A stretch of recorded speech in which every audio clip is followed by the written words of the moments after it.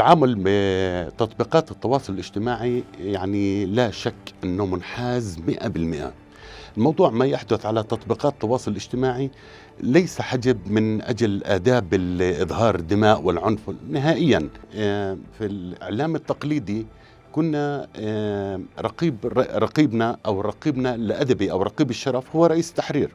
بتابع المادة.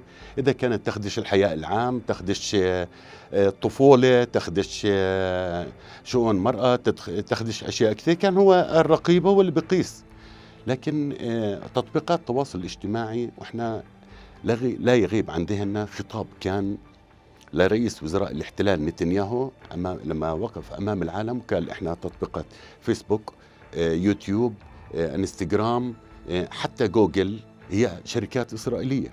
وهم يتعاملوا مع المحتوى بنظرة إسرائيلية بغياب كامل عن الحيادية في نشر الخبر. إحنا الآن نتحايل على العنوان نتحايل بالفيديو نتحايل لنشر الحقيقة. هذه حقيقة. الآن اليوم العالم تطور وتغير. اليوم الكاميرا في جيب كل مواطن في جيب كل إنسان والحقيقة بدأت يوصل بالفترات السابقة كان آه، الأمريكان أو دول أوروبا كانوا في هناك سيطرة على الإعلام لا يعلموا ما يحدث في الشرق الأوسط. تصلهم صورة مغايرة تماما. اليوم آه، ما تم تسريبه وما تم تسريبه من تطبيقات التواصل الاجتماعي. وصل إلى أوروبا وصل لأمريكا وشاهدنا مظاهرات في كل الدول التي كانت تحظر أي تعامل أو أي تضامن مع الفلسطينيين. وخرجوا بأعلام فلسطين وطلعوا في تضامن بالرسالة الإنسانية كان إنسانية عند الشعوب اللي بدأت تضغط على شعوبها. الإعلام إشي مهم.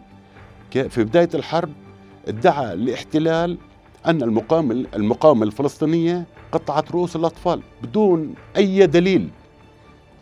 صورة ما معه تثبت أنه قطعوا رؤوس أطفال لما خرج الأسرى من من الأسر أو ما أفرج عنه آه، المقاومة الفلسطينية من الأسرى طلعوا حكوا عن المعاملة الإنسانية واحترامهم كيف جابوا لهم الدواء البديل لأنه دواءهم غير متوفر آه، كيف تعاملوا؟ عملت انعكاسات عند أوروبا والعالم.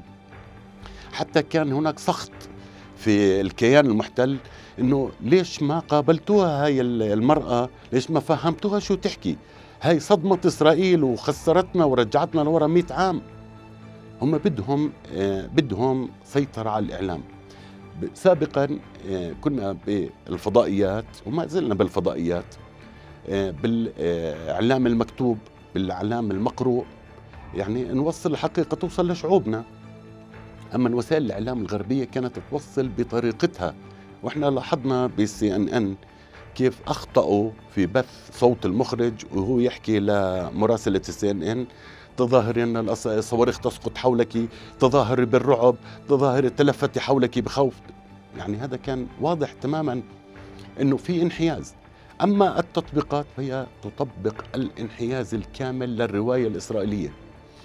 ظهر عديد من الفضائيات بأسامي كردية وأسامي بعد 7 أكتوبر. بدأت أنا شخصيا ألاحظ عشر فضائيات شيء منها كردي شيء منها تركي شيء منها كذا كانت تظهر يعني آه، بشكل عام ما يحدث بانحياز لإظهار الاحتلال الإسرائيلي بأنه ضحية. فتطبيقات التواصل الاجتماعي منحازة مئة بالمئة لصالح الرواية الإسرائيلية وهي تحضر النشر لأن كل مواطن عربي كل صحفي أنا كصحفي صرت أخشى على صفحتي لأنه أول إنذار ثاني إنذار قيدناك لمدة شهر. آه، صفحتي كان عليها آه، فل متابعين. راحت الصفحة بالكامل لأنه آه، أنا ما أنشره. لا يروق للرقيب في داخل فيسبوك ويوتيوب وغيرها وغيرها